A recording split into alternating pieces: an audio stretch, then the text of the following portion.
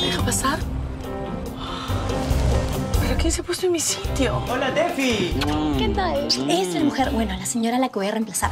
La trajo para que sea mi supervisora. A una chibola que no tiene nada de experiencia. Dani, ¿me estás escuchando?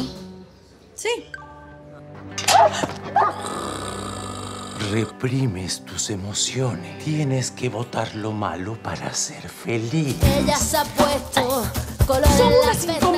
y yo termino haciendo todo el trabajo y me sigues pagando lo mismo hace tres años. Ya está, por tu bien.